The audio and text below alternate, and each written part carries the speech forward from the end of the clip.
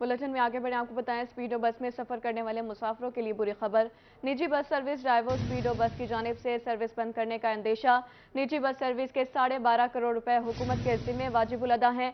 निजी bus service ने bus service बंद करने की धमकी दे दी है। हुकूमत मुसाफरों को रोज़ाना अठारह लाख रुपए सब्सिडी दे रही है। आपको बता रहे हैं, स्पीडो बस में सफ़र करने वाले मुसाफरों के लिए बुरी खबर है। इसी पर मजीद बात कर लेते हैं। महमूद रही से जी बताइए। बिल्कुल स्पीडो बस जो है वो बहावलपुर से लोधरा और लोधरा से बहावलपुर महाना जो है नियर अबाउट लाखों मुसाफिरों के लिए आने जाने का बेहतरीन वसीला है और इसके साथ साथ जो लोधरा और सबब के जो खास तौर पर स्टूडेंट्स हैं, वो इस्लामी यूनिवर्सिटी बहावलपुर जब आते हैं तो बहुत आसानी एयर कंडीशन बस में 20 से 30 रुपए में पहुँच जाते हैं। इसके अलावा वो किसी भी तरीके से नहीं पहुँच सकते तो उनके हवाले से जो लाखों मुसाफिर इनके साथ जुड़े हैं, उनके लिए बुरी खबर ये है कि निजी बस सर्विस जो है उसके जो वाजिबुल अदा रकूम है हुकूमत पंजाब की जानब, वो तकरीबन साढ़े बारह करोड़ रुपए हो चुकी हैं। वो अदायगी नहीं हो पा रही है, जिसके बायस अब ये अंदेशा है कि किसी भी वक्त जो है स्पीडो बस सर्विस को बंद किया जा सकता है। इस हवाले से दो से तीन मरतबा इंटीमेट भी किया गया है इंतजामिया को और पंजाब हुकूमत को, लेकिन मामला बेसूद रहे, जिसके बायस अब स्पीडो बस सर्विस को बंद करने के हवाले से संजीदगी से गौर किया जा रहा है। निजी बस सर्विस डैमो की जानी से इसके साथ मैं आपको ये भी बता दूँ कि साढ़े बारह करोड़ रुपया जो अदायगी है, वो वाजिबुल अदा कैसे है पंजाब हुकूमत के जिम्मे? तो ये सब्सिडी की मद में पंजाब हुकूमत देती है जो जिनकी सब्सिडी, यानी कि मुसाफिरों को सब्सिडी के तौर पर अदायगी हुकूमत पंजाब करती है। जिसकी वजह से मुसाफिरों को सस्ता किराया पड़ता है और उसी सस्ते किराए के बायस वो लोधरा बहावलपुर आना जाना रोज़ाना की बुनियाद पर करते हैं। इससे पहले भी एक दो मरतबा स्पीडो बस सर्विस इसी वजह से बंद हो चुकी है, लेकिन पंजाब हुकूमत की काविशों की वजह से फिर दोबारा से शुरू हो जाती थी। तो इस बार फिर से ये अंदेशा है कि लाखों मुसाफिरों को इस बार फिर से इंतहाई तंगी का, सफ़र के मामले में इंतहाई तंगी का सामना करना पड़ सकता है। जी। जी, महमूद जहीर आपका बहुत शुक्रिया। मुल्तान के तामीराती काम ठप तारीखी मज़ार हज़रत बीबी पाक माई का तामीराती काम रुक गया। मज़ार का तामीराती काम गुजशत एक माह से बंद पड़ा है। मज़ार के अहाते में नया फर्श बनाने का काम ताहाल शुरू ना हो सका। जारीन के बैठने की मुनासिब जगह भी दस्याब नहीं है। मजीद बता रही सुहरा तारीख। जी, मुल्तान में हज़रत बीबी पाक माई का मज़ार तकरीबन साढ़े सात सौ साल कदीम मज़ार है और ख़स्ता हाल मज़ार की तमीर मरम्मत के लिए महकमा काफ और महकमा वॉल्ड सिटी के ताबन से तमीराती काम का आगाज़ जो है वो गुज्त साल किया गया था, लेकिन तमीराती काम जो है वो अभी तक मुकम्मल नहीं हो सका है। यहाँ पर मज़ार की जो बरामदा था, उसकी रेनोवेशन का काम जो है वो मुकम्मल किया गया है। यहाँ पर आप देख सकते हैं, अभी जो फ़र्श लगाने का काम है वो अभी होना बाकी है। हमारे साथ यहाँ पर कुछ ज़ायरीन मौजूद हैं, क्या कहना चाहेंगे? बीबी पाक माई के दरबार पर आए हुए हैं, यहाँ पर तमीराती काम हो रहा है, माशाल्लाह महकमा को हवाले काम करवा रहे हैं, लेकिन काम बहुत स्लो हो रहा है। हमें उम्मीद है कि ये बहुत जल्द काम हो जाएगा और इन अल्लाह पाक करम करे। पर बड़ी तादाद में बच्चे, ख़वातीन, जो ज़ायरीन हैं, वो यहाँ पर आते हैं, दुआएँ भी करते हैं। ज़ायरीन का ये कहना है कि तामीराती काम जो है, वो जल्द अज जल्द मुकम्मल किया जाए ताकि मज़ार को इसकी असली हालत में बहाल काम जल्द अज जल्द मुकम्मल कर लिया जाएगा। सुहरा तारीख हमें बता रही थी, बहुत शुक्रिया। आगे बढ़े आपको बताएँ सब्सिडाइज अशिया का हसूल नामुमकिन बन गया। रहीम यार खान के यूटिलिटी स्टोर सहूलियात फराहम करने में नाकाम। सब्सिडी का हसूल आवाम के लिए ख्वाम बनकर रह गया है। मजीद आगाह करेंगे आबिर भट्टी बिल्कुल खान के शहरियों का यूटिलिटी स्टोर से सस्ती और वाफिर मकदार में अशिया खरनोश की खरीदारी सिर्फ़ एक ख्वाब ही बनकर रह चुकी है। सब्सिडी घी जो है पिछले एक माह से यहाँ पे गायब है और शहरियों को शदीद मुश्किल का सामना करना पड़ रहा है। इसके साथ साथ जो यहाँ पे तमाम खाने पीने और इस्तेमाल की चीज़ें उनके रेट्स में वाज तौर पर इजाफा हो चुका है। अगर इनके रेट्स के हवाले से, नाम के हवाले से देखा जाए तो जो सर्फ दो सौ अड़तीस रुपए फ़ी किलो के हिसाब से मिलता है। इसके फ़ी किलो रेट में जो है बासठ रुपए का इजाफा हुआ अब सर्फ फ़ी किलो जो है तीन सौ रुपए में फरोख्त हो रहा है। इसके साथ साथ साबुन यूटली स्टोर पे जो तिरानवे रुपए का मिलता है, ये दस रुपए फ़ी किलो इजाफे के, दस रुपए फ़ी साबुन के बाद अब तिरानवे से एक सौ तीन रुपए में मिल रहे हैं। इसके साथ साथ जो नूडल्स हैं, इनके भी फ़ी किलो जो फ़ी नूडल है, इसके रेट में दस रुपए का इजाफा हुआ है। शैम्पू फ़ी फ़ी शैम्पू में पाँच रुपए का इजाफा हुआ। इसके साथ साथ जो बर्तन धोने वाला साबुन है, फ़ी साबुन में दो रुपए का इजाफा हुआ है। इसके साथ साथ फ़ी टिश्यू के डब्बे पे जो है दस रुपए का इजाफा है। तमाम चीज़ें जो है उसके रेट्स में वाज तौर पर इजाफा हो चुका है। उसके साथ साथ जो सब्सिडी की चीज़ें वो भी यहाँ पे नायाब हो चुकी हैं। शहरी हमारे से मौजूद है, उनसे जानते हैं। क्या कहना चाहेंगे कि दिहाड़ी तो वही है आपकी, लेकिन उसके साथ साथ जो चीज़ें हैं, उनके रेट्स में इजाफा होता जा रहा है। इससे आम आदमी को किन मुश्किल का सामना है? आम आदमी को तो बहुत इन्होंने मार के ही रख दिया है, क्योंकि हर चीज़ महँगी हो गई है। यहाँ पे यूटली स्टोर पे आए तो यहाँ पे कोई चीज़ नहीं मिलती, घी नहीं मिलता, जो आटा नहीं मिलता, कोई चीज़ भी नहीं मिलती। हर चीज़ के दाम बढ़ गए हैं, हर चीज़ की कीमत बढ़ गया है, आमदनी वही है अखराज बढ़ गए हैं। पेट्रोल इन्होंने बहुत महँगा कर दिया जिसकी वजह से हर चीज़ ही महँगी हो गई है। गरीब आदमी को इन्होंने जीना ही ख़त्म कर दिया वो कहते हैं गरीब मर ही जाए और कुछ भी नहीं रह गया इसमें गरीब आदमी तो जैसे मर ही गया हो महँगाई की इस चक्की में पिस कर रह चुका है इनका यही मुतालबा हुकाम बाला से कि हुकाम बाला जो है महँगाई के सुनामी को कंट्रोल करें और यूटिली स्टोर पर अशिया खरनोट ना सिर्फ़ बल्कि वाफिर मकदार में भी प्रोवाइड जी आमिर भट्टी आपका बहुत शुक्रिया आगाह करने के लिए। अब आपको बताएँ सुजुकी मोटर्स का छोटी गाड़ियों की कीमतों में एक बार फिर बड़ा इजाफा। गाड़ियों की कीमतों में निन्यानवे हज़ार से लेकर दो लाख तिरसठ हज़ार रुपए तक का इजाफा कर दिया गया है। सोफ जी एल एक्स सीवीटी की कीमत दो लाख तिरसठ हज़ार रुपए हो गई है। सोफ जी एल एक्स सीवीटी सैंतालीस लाख पच्चीस हज़ार रुपए की हो गई। सोफ जी एल एक्स सीवीटी की कीमत दो लाख तिरसठ हज़ार रुपए का इजाफा। सोफ जी एल सीवीटी की नई कीमत तैंतालीस लाख पचपन हज़ार रुपए की हो गई। सोफ जीएल मैनुअल की कीमत में दो लाख पैंतालीस हज़ार रुपए का इजाफा। सोफ जीएल मैनुअल की नई कीमत चालीस लाख बावन हज़ार रुपए की हो गई है। आपको बता रहे हैं, सोफ जीएल एक्स सीवीटी की कीमत में दो लाख तिरसठ हज़ार रुपए का इजाफा हो चुका है। सोफ जीएल एक्स सीवीटी सैंतालीस लाख पच्चीस हज़ार रुपए की हो गई।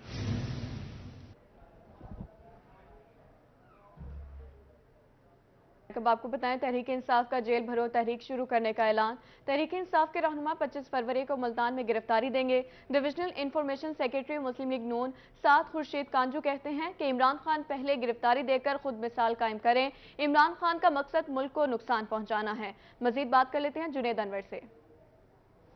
जी, बिल्कुल, तहरीक इंसाफ की जानब से जेल भरो, तहरीक शुरू करने का ऐलान। 25 फरवरी को मुल्तान से तहरीक इंसाफ के जो कारकुनान हैं। पार्टी का दावा है कि 200 के करीब जो कारकुनान हैं वो गिरफ्तारी देंगे। इस हवाले से सेनेटर ऑन अब्बास बप्पी जो कि तहरीक साहब जनूबी पंजाब के सदर भी हैं, वो भी अपने कारकुनान से और पार्लियामेंटेरियन से हलफ भी ले चुके हैं कि वो गिरफ्तारी के मौके पर वहाँ पर मौजूद रहेंगे और गिरफ्तारी देंगे। इस वक्त इंफॉर्मेशन सेक्रेटरी अक्सर मुस्लिम लीग नून, मुल्तान डिवीज़न सात का, जो मौजूद से बात करेंगे। देखिए, वैसे तो हर पार्टी का यह हक है कि वो जो भी पोलिटिकल एक्टिविटी करना चाहे वो कर सकती है। लेकिन अगर ये जेल भरो तहरीक इन्होंने स्टार्ट करनी है तो सबसे पहले इनको ये चाहिए कि जो केसेस इनके ऊपर मौजूद हैं, उनके अंदर अपनी गिरफ्तारियाँ दें। फरागोगी से शुरू करें, उसके बाद जो बाकी लोग चाहिए कानून को, वो सारे पेश हों। इमरान खान साहब भी ज़मानत ना लें, और सबसे पहले लीडर को अपनी एग्ज़ाम्पल खुद पेश करनी चाहिए। वो खुद तो ज़मानत ले रहे हैं अदालतों से जाकर, दूसरे हाथ पे वो कारकुनों को कह रहे हैं कि आप गिरफ्तारियाँ दें। सबसे पहले चाहिए कि इमरान खान खुद गिरफ्तारी दें जमानतें मत लें लीडरशिप से बाकी उनकी तमाम लीडरशिप है, जो इस वक्त कानून को दरकार है, मुख्तलिफ़ केसेस में। उनको चाहिए कि वो अपनी, जो है, अपनी गिरफ्तारियाँ दें। उसके बाद फिर कारकुनों से कुर्बानी मांगनी चाहिए कि आओ, अब तुम कुर्बानियाँ दो। अपने बच्चे आपके बाहर इंग्लैंड में रहते हों, दूसरों का बच्चों को आप जेलों में डाल दें तो ये तो कोई मुनासिब तरीका नहीं है। और ये पार्टियों का रवैया भी नहीं होता, ये कोई लीडर लीडर का रवैया भी नहीं है। और ऐसा आदमी जो दूसरों के बच्चों को तकलीफ़ में दे, वो कौन सा लीडरशिप है और वो कौन सा काम है? हाँ असल काम ये है। देखिए, ऐसा काम हर नजायज़ काम इन्होंने किया है। इस इंतशार इन्होंने फैलाया मुल्क के अंदर। सियासी इस, गैर इस्तेकाम इन्होंने पैदा किया है। ये भी कहना है कि अगर गिरफ्तारी देनी है तो फ़र्क होगी से जो है वो गिरफ्तारी का आगाज़ किया जाए और उसके बाद जो कानून को लोग मतलूब हैं उनको गिरफ़्तार किया जाए। जी। जी जुनेद अनवर आपका बहुत शुक्रिया। सेक्रेटरी प्राइमरी और सेकेंडरी हेल्थ केयर का टीएचक्यू अस्पताल का दौरा। Director general health services doctor Mehr Mohammad Iqbal CEO district health हमरा deputy director R IRM NCH doctor Zuhaib Hasan और दीगर अफसरान शरीक हुए। सेक्रेटरी ने न्यूट्रिशन स्टेबलाइजेशन सेंटर का अफ्ताह किया। सेक्रेटरी ने एमरजेंसी समेत मुख्तलिफ़ वार्ड्स का जायजा लिया। सेक्रेटरी ने ओपीडी और मुख्तलिफ़ वार्ड्स पर मुश्तमिल नई बिल्डिंग का भी दौरा किया है। आपको बता रहे हैं director general health services doctor Mehr Mohammad Iqbal CEO district health अमरा उनके थे। बहावलपुर बार के बिला मुकाबला उम्मीदवारान का चुनाव। सदर और जनरल सेक्रेटरी के अलावा तमाम उम्मीदवार बिला मुकाबला मुंतखब। सदर और जनरल सेक्रेटरी की नशस्त पर दो दो उम्मीदवार मद्द मुकाबल होंगे। सदर की नशस्त पर याहिया खान और अब्दुल बासित के माबैन मुकाबला होगा। बात कर लेते हैं महमूद रहीर से। जी, Lahore high court bar Bahawalpur के इंतबी मरहला यूँ लगता है कि समराइज होता जा रहा है। पच्चीस फरवरी को यूँ तो इंतबात होने हैं, लेकिन सदर और जनरल सेक्रेटरी के अलावा तमाम नशिस्तों पर बिला मुकाबला उम्मीदवार ये अपडेट हुई है, बिला मुकाबला जीत गए हैं यह इंतखब मुंतखब कर लिए गए इस हवाले से जानते हैं, चेयरमैन इलेक्शन कमेटी बोर्ड है, सबक सदर हाईकोर्ट बार है, मलक असलम चनर साहब, जरा बताइए। जी, आपने दोस्त फरमाया जी कि अल्हम्दुलिल्लाह हमने एमिकेबली तमाम दोस्तों को बिठाकर ये चार नायब सदर थे भावल नगर लोधरा, भावलपुर और रहीम यारखान ये तमाम लोग बिला मुकाबला हो चुके हैं। Finance secretary library secretary auditor मजलिस आमला के पाँच अरकान, ये भी मुंतखब हो चुके हैं। अब दो सीटें सिर्फ़ रहती हैं सदारत की और सेक्रेटरी की। हम उम्मीद करते हैं कि ये भी एमिकेबली भाई आपस में बैठ के इस इनमें जो सदारत है वो मोहम्मद याहिया खान साहब और सरदार अब्दुल बासिर साहब। और सेक्रेटरी के लिए हैं जनाब ताहिर जतोई साहब और मलिक मोहम्मद रफीक साहब। सिर्फ़ ये दो सीटें बाकी रह गई हैं। अब मुकला साहबान ये फरमा रहे हैं कि मियाँ इस इलेक्शन के खर्चे को घटाओ। अगर ये ऐसा नहीं होता है तो एक सीट भी हुई तो 25 फरवरी को इलेक्शन ये इनशाला नेचुरल बात है जी वो तो ये प्रोसेस है एक। सीट भी रह गई तो इलेक्शन तो लाजमी होना है जी। सदर और जनरल सेक्रेटरी के इंतबी मरहल इंतबी यूँ कह लें कि बिला मुकाबला इंतखब या इसका फैसला किया जाना बाकी है, लेकिन ये ज़रूर अपडेट है Bahawalpur Lahore high court bar Bahawalpur के हवाले से कि तमाम सीटें बिला मुकाबला मुंतब कर ली गई जी, महमूद सहीर, आपका बहुत शुक्रिया। डीपीओ मुजफ्फरगढ़ की सहाफ़ियों के वफ से तारूफी मीटिंग। सदर press club A B Mujahid और दीगर सहाफ़ियों ने शिरकत की। सहाफ़ियों ने डीपीओ मुजफ्फरगढ़ को मसाइल से आगाह किया। आपको बता रहे डीपीओ मुजफ्फरगढ़ की सहाफ़ियों के वफ से तारूफी मुलाकात सदर press club A B Mujahid और दीगर सहाफ़ियों ने शिरकत की। सहाफ़ियों ने डीपीओ मुजफ्फरगढ़ को मसाइल से आगाह किया। कब आपको बताएँ, महँगाई ने आवाम का जीना मुश्किल कर दिया। बढ़ती महँगाई को ब्रेक ना लग सकी। घर की तजीन आरइश का सामान भी महँगा हो गया। कालीन, पर्दे, फोम, मैट और तकिए की कीमतें आसमान को छूने लगी हैं। बात कर लेते हैं राना बिलाल से। जी, बिल्कुल बढ़ती हुई महँगाई को ब्रेक ना लग सकी। बात करें कारपेट कीमतों की, पर्दों की और इसके साथ क्लीन की कीमतों की तो इनकी कीमतें जो हैं इस वक्त आसमान से बातें करने लगी हैं। कीमतों की अगर बात की जाए तो जो कारपेट पहले पंद्रह सोलह रुपये स्क्वायर फीट के हिसाब से मिल जाता था। और वही तीस, पैंतीस रुपये स्क्वायर फीट के हिसाब से मार्केट में फ़रोख्त किया जा रहा है। पिछले तीन, चार माह के अंदर जो है, कीमतों में सौ फ़ीसद इजाफा देखने में आया इनकी कीमतों में। अब जो है, गरीब आदमी के लिए घर बनाना तो दूर की बात, सजाना भी बहुत ज़्यादा मुश्किल हो चुका है। हमारे साथ दुकानदार मौजूद है, इनसे जान लेते हैं, इनकी सेल पे भी क्या फ़र्क पड़ा है और इसके साथ साथ जो कीमतें बढ़ी हैं, इनका कारोबार कैसा है? जी, क्या कहेंगे? कीमतें इतनी ज़्यादा बढ़ा दी हैं, आपने बढ़ाई हैं पीछे से बढ़ी भाईजान, एक तो आपका डॉलर का मसला है। डॉलर अप हो गया है, जिस वजह से एक इम्पोर्ट बंद हो गया है। चाइना से जो माल आ रहा था, वो सस्ता था, वो पंद्रह रुपये में हम सेल करते थे, जो ग्यारह, बारह रुपये मिलता था हमें, रुपया दो रुपये मार्जन मिलता था उसमें। हर गरीब आदमी की पहुँच में था। जब से सारे जितने पड़े हम लोकल पड़े हैं। लोकल जो है, कम अज़ कम जो लास्ट से लास्ट, हल्के से हल्का कारपेट है, वो भी तीस रुपये सेल हो रहा है। अब गरीब की पहुँच से दूर हो गया है। बताए गरीब क्या करे? बेचारा आता है पूछता है कहते यार चार महीने पहले ले गया हूँ मैं पंद्रह रुपये में। आज जो है आप तीस रुपये बता रहे हैं। कारोबार तबाह होकर रह चुका है शहरी मौजूद हैं। इनसे जान लेते हैं जो खरीदने के लिए आप क्या कहेंगे सवाल? भाई कारपेट लेने आया हूँ तीसरी दुकान पे आया हूँ मैं। और जिसके पास जाता हूँ वो तीस पैंतीस से कम कोई कारपेट नहीं दे रहा। मुझे एक बात बताएँ कि हमारे पास इतने अखराजात नहीं हैं, इतने हमारे पास घर के खर्चे पूरे नहीं होते, मगर घर में मजबूरी है कि अब बच्चों को नीचे सुला रहे हैं। अब पंखा चलना है तो एक ही जगह पे सबने सोना है तो कारपेट लेने आया हूँ तो आगे से भाई साहब कह रहे हैं, जी, तीस, पैंतीस से कम नहीं है। मजबूरी के तहत जो है, कारपेट खरीदने के लिए आए हुए हैं, गुजारा करने के लिए हुकूमत से नुलाम भी हैं और हुकूमत से मुतालबा करते भी दिखाई देते हैं कि लिहाजा इनकी कीमतों को कम किया जाए और इसके साथ जो है डॉलर की कीमत बढ़ने से इनकी जानब से कहा जा रहा है कि कीमतें बढ़ी हैं और इसके साथ जो इम्पोर्ट खोल दी जाए तो ये इनकी कीमतें जी राना बिलाल, आपका बहुत शुक्रिया। मियावाली में सरकारी इदारे कानून तोड़ने लगे। महकमा हाईवे सीवरेज नाले का पानी पुरानी गटर लाइन में डालने लगा। शहरियों का इस बारे में क्या कहना है? मजीद जानते अख्तर बजाज से। जी, बिल्कुल मियाँ वाली में सबसे बड़ा जो इशू था सीवरेज पानी का जो इशू था और इसको कुछ हुकूमत ने इस अंदाज से निपटाने की कोशिश की कि मियाँ वाली में सीवरेज के नाले बनाए गए ताकि फरावानी के साथ और आसानी के साथ सीवरेज का पानी जो है वो दरिया की तरफ़ मुंतकिल हो। इस हवाले से हमारे साथ शहरी मौजूद है। क्या कहते हैं? कितनी मुश्किल हो रही है? अगर उसी के साथ कनेक्ट करना था, पुराने सीवरेज गटरों के साथ तो नए जो नाले बनाने की ज़रूरत ही क्या थी? क्या कहते हैं? कोई ज़रूरत थी नए नाले बनाने की? नहीं जी, ये इन्होंने आज से जो 25-30 साल पुरानी सीवरेज चल रही थी, जो बार बार बंद हो रही थी या उसके मसाइल जितने ज़्यादा थे, इन्होंने नई सीवरेज डाली। हम खुश हो गए हैं कि यार नई सीवरेज आ गई है, गली मोहल्लों का, सड़कों का पानी रोडों पर खड़ा होता था। वो सारा नए नाले बन गए अब मसला क्लियर होगा। लेकिन उन्होंने क्या किया है? इन्होंने नई सिविल लाइन जो है उससे कनेक्शन पुरानी लाइन में दे दी है जिसकी वजह से उसमें बंडल ज़्यादा पड़ गया है वो उसमें ज़्यादा मसाइल पैदा होंगे। जी ज़्यादा मसाइल पैदा होंगे एक और शहरी मौजूद है। आप बताइएगा पुराना जो सीवरेज लाइन है उसी पे बर्डन बढ़ गया पानी ज़्यादा हो गया क्या कहेंगे साथ में बरखैल है उधर पानी खड़ा होता है सारा।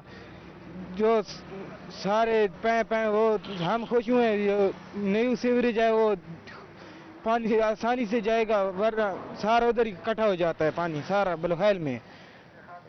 परेशानियाँ ज़्यादा हो गई हैं, पहले से भी ज़्यादा, पहले जी, बिल्कुल जैसा कि आपने सुना इस शहरी की बात कि हम खुश हो रहे थे कि एक बड़ा सीवरेज नाला बनाया जा रहा है शहर भर में, जिससे सीवरेज का पानी आसानी के साथ निकल जाएगा। लेकिन आसानी की बजाय ज़्यादा परेशानियाँ पैदा हो रही हैं। अब दोबारा जो है, पुरानी सीवरेज लाइन पे जो है, बर्डन बढ़ गया है, जिसकी वजह से मुख्तलिफ़ मकाम पर पानी भी जमा हो जाता है और शहरीों को मुश्किल का सामना है। इस हवाले से डिस्ट्रिक्ट अख्तर मिजाज आपका बहुत शुक्रिया बताने के लिए।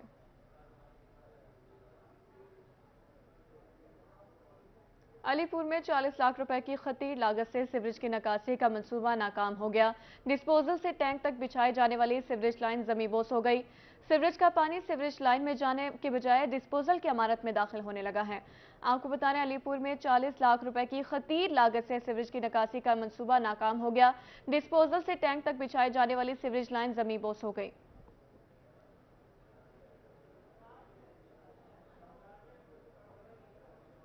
हासिलपुर में वापडा इलेक्ट्रिक वर्कर्स का एहतजाज दूसरे रोज भी जारी। Hydro workers union SDO Amad Ali को मअतल करने पर बजिद। हाइड्रो इलेक्ट्रिक वर्कर्स और अफसरान बिला के दरमियान डेडलॉक बरकरार है। एसडीओ वापडा सिटी सब डिवीज़न की मौतली तक एहतजाज जारी रखने का ऐलान कर दिया गया है। आपको बता रहे हैं हासिलपुर में वापडा इलेक्ट्रिक वर्कर्स का एहतजाज दूसरे रोज भी जारी। Hydro workers union SDO Amad Ali की मौतली पर वजिद हो गए हैं। हाइड्रो इलेक्ट्रिक वर्कर्स और अफसरान बाला के दरमियान डेडलॉक बरकरार है।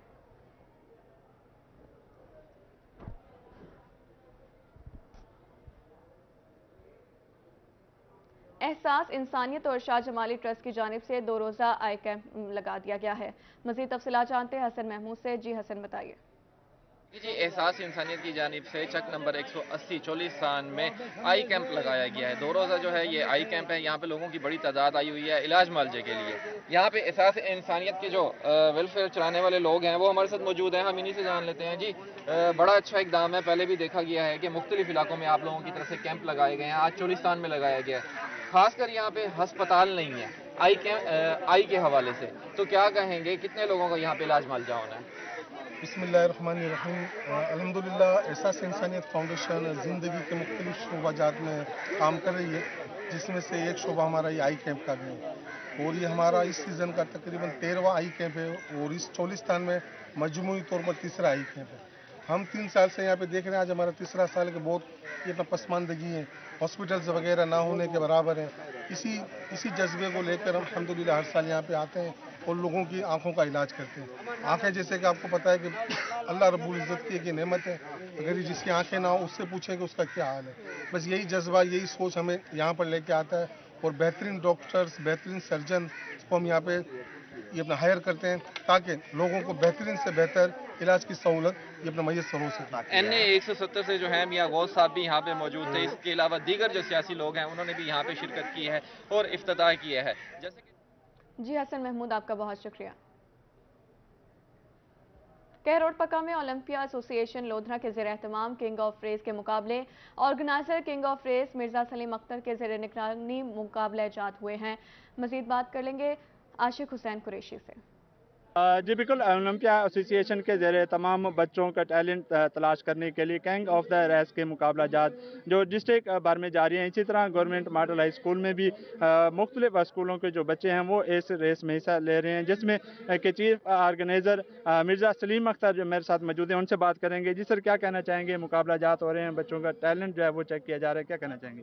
जी, ओलंपिया एसोसिएशन जो हमारी अठतीस साल से सरगर्मी अमल है, स्पोर्ट्स के, फ़रोग के लिए उसके जेर तमाम किंग ऑफ़ रेस के हवाले से जो ये इवेंट कंडक्ट किया जा रहा है, देखना यह है कि ज़िला भर के जो हमारे नौजवान हैं इंटरमीडिएट तक के तालब इलम हैं, उनमें से किंग ऑफ़ रेस कौन करार पाया जाता है? और पहला इनाम हमने दस हज़ार रखा है बच्चों के हौसला अफजाई के लिए, दूसरा इनाम सात हज़ार रुपये रखा है, तीसरा इनाम हमने पाँच हज़ार रुपये रखा है, चौथी, पाँचवीं, छठी पोजीशन तक का भी इनाम हमने रखे हैं। तीनों तहसीलों के माबैन ये मुकाबला जात हो रहे हैं। अलहदा उसके बाद मेगा इवेंट होगा, फाइनल हमारा म्यूनसिपल स्टेडियम लोधरा में, जश्न बारह के सिलसिले में। इस इवेंट को कंडक्ट करने का मकसद जो है सेहतमंद माशरे का क्याम है। जी हमारे साथ तहसील सपोर्ट से फीसर जाम जमशेद मौजूद है उनसे बात करेंगे।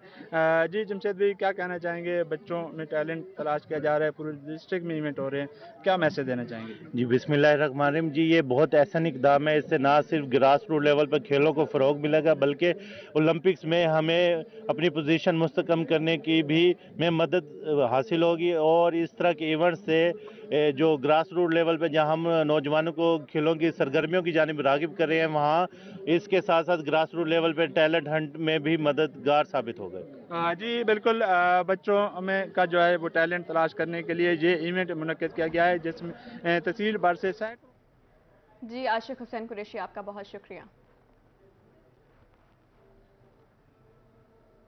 भक्कर में डीपीओ का थैलेसीमिया केयर सेंटर का दौरा। थैलेसीमिया के मर्ज में मुबतला बच्चों में अद्वियात तकसीम की गई। डीपीओ सदर thalassaemia care centre Sheikh Mohammad Ayub ने ब्रीफिंग दी। मजीद उनका क्या कहना था, ये जानते हैं।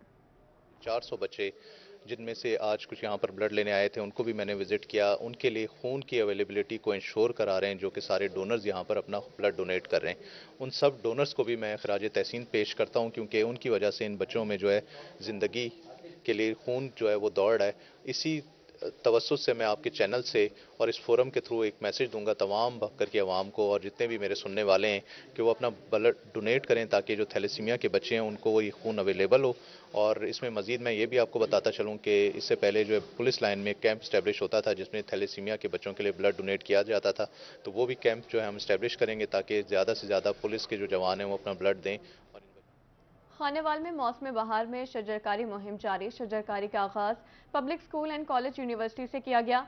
महकमे माहौलियात के डिस्ट्रिक्ट ऑफिसर सरफराज अंजुम ने शजरकारी में हिस्सा लिया। शजरकारी में शहरियों ने पौधे लगाए। मजीद जानते हैं मोहम्मद नदीम मुगल से। मौसम बहार की शजरकारी के सिलसिले में Khanewal public school, college and university में आज शजरकारी मुहिम की गई है, जिसमें नस्ल पाकिस्तान ने सरी उसके साथ साथ महकमा माहौलियात के डिस्ट्रिक्ट ऑफिसर जो हैं, वो भी यहाँ पर पहुँचे हैं और पौधे लगाए हैं। मजीद पर हम बात करेंगे, हमारे साथ मौजूद हैं महकमा माहौलियात के डिस्ट्रिक्ट ऑफिसर हैं सरफराज निजम साहब, उनसे जानेंगे इस हवाले से। सरफराज बताइएगा कि मौसम बहार की शजरकारी का सिलसिला जारी है। Khanewal public school, college and university में पौधे लगाए गए क्या पैगाम जी, गवर्नमेंट ऑफ़ पंजाब की जो इंस्ट्रक्शंस हैं और डिस्ट्रिक्ट एडमिनिस्ट्रेशन की इंस्ट्रक्शंस हैं, उसके मुताबिक हमने यहाँ स्प्रिंग ट्री प्लांटेशन कैंपेन का जो इनाग्रेशन है, वो के पी एस खानवाल से स्टार्ट किया है, जिसमें हमने जो इंडस्ट्रियल यूनिट्स हैं, उनको भी साथ अपने शामिल कर रहे हैं। आज नेस्ले के कॉपोरेशन के साथ हम 500 जो ट्रीज़ हैं, जिसमें इंडिजिनस भी हैं, फ्रूट ट्रीज़ भी हैं, वो यहाँ पे लगा रहे हैं। बिल्कुल। फ्रेश ऑक्सीजन प्रोवाइड करते हैं, इदारे के प्रिंसिपल से बात कर लेते हैं। राशिद सही राना साहब मौजूद हैं। सर, यकीनी तौर पर ख़ास तौर पर आप पौधों से खुद बड़ा प्यार करते हैं, लगाव है और मौसम बहार की आज शजरकारी का आगाज़ भी किया तो क्या पैगाम? जी डिप्टी कमिश्नर खानेवाल की हिदायत के मुताबिक हमने मौसम बहारा की जो शजरकारी है, उसमें हम का आगाज़ किया हुआ है। इसमें हमें इस बार तावन हासिल हुआ है, director Punjab environment protection agency का और नेस्ले पाकिस्तान का। और सबसे बढ़कर इसमें हमने जो तलबा और तलबात की इसमें इन्वॉलमेंट की है, आपने देखा होगा कि उन्होंने किस कदर शानदार अंदाज में मुख्तलिफ़ प्रजेंटेशन तैयार की हुई हैं और जो मौसमियाती तगैर के हवाले से उन्होंने मुख्तलिफ़ जो हैं वनमेंट्स बनाए हैं और वो बहुत सारी उनके सामने एक विजन है ग्रीन और क्लीन पाकिस्तान का और हम ये समझते हैं कि ये इस तरह की एक्सरसाइज़ इदारों को सनती इदारों को, तलीमी इदारों के साथ मिलकर, हुकूमती इदारों के साथ मिलकर करते रहना चाहिए ताकि एक खुशगवार हवा के झोंके के तौर पर हमें जो है दरख्त जो हैं वो ऑक्सीजन मुहैया मोहम्मद नदीम मुकल हमें तफसीत से आगाह करे थे। बहुत शुक्रिया।